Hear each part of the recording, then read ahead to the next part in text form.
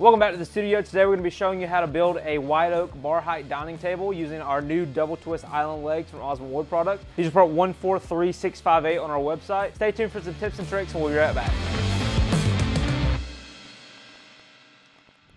Now as with all Osborne table base kits, you're going to get your legs and necessary skirt boards that have been mortise and tenoned.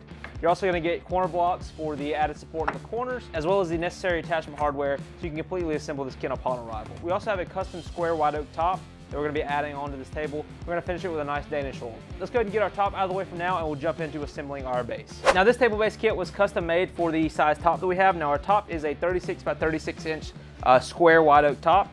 We also went ahead and had just a small standard roundover added to the bottom profile of our skirt. Um, so that's gonna add a nice detail. That is an option on our uh, table base builder on our website. I'll leave a link below if you want to design your own table base kit for your top. If you're interested in a more in-depth tutorial on assembling table bases, I'll leave a link in the description below.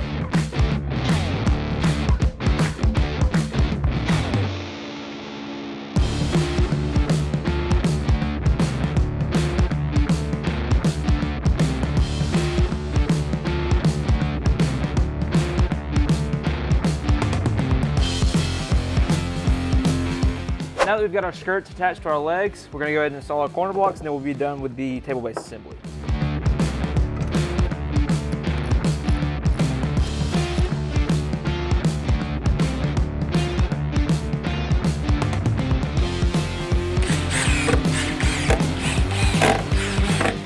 Now that we've got our table base assembled, we're gonna go ahead and sand our top to 220 grit, and then we're just gonna wipe a Danish oil finish on top of that. We're also gonna do Danish oil on the base, and then after the oil has completely dried and cured into the wood, we'll come back and do a polyurethane on top, just to add that extra protective layer since it is gonna be used as a dining table.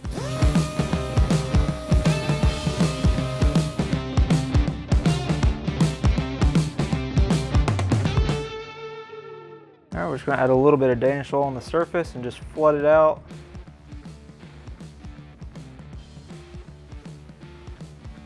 Then we'll take a clean rag and just come back through and buff it out after it has sat on the surface for a few minutes. Once we've got the excess off, let it sit about 10 to 15 minutes, and then we'll come back and flood the surface again and we'll repeat that process until it won't absorb uh, any more oil. So I'm gonna go ahead and get our table base finished up as well, and then we'll move on to installing our top onto our base.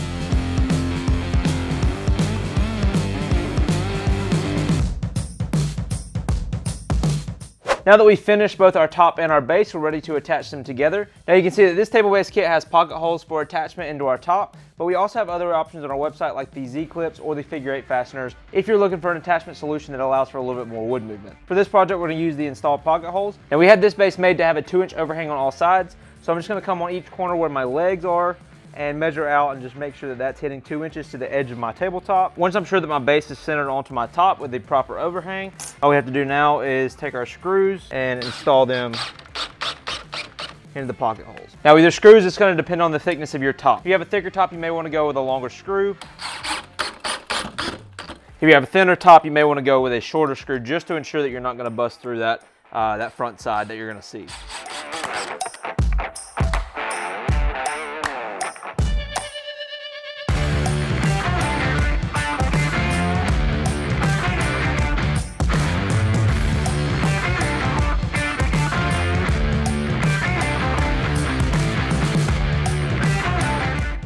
So our table is complete. We're gonna let it dry and then we're gonna add a nice polyurethane coat over the top just to ensure the strength over time. I think it turned out great. I really love the way that these legs look. They have a really unique profile that I think is gonna complement a lot of spaces very well. If you're interested in learning more about the new double twist island legs, I'll leave a link below, as well as some other twist legs that we've released recently. If you're interested in more info on custom table base kits from Osborne, you can check that link out below to build your own custom table base, depending on the size top that you need. You'll also find some information on some custom tabletops from Osborne. As always, be sure to like, subscribe, and leave us comment if you have any ideas for future builds, and we'll see you next time in the Builder Studio.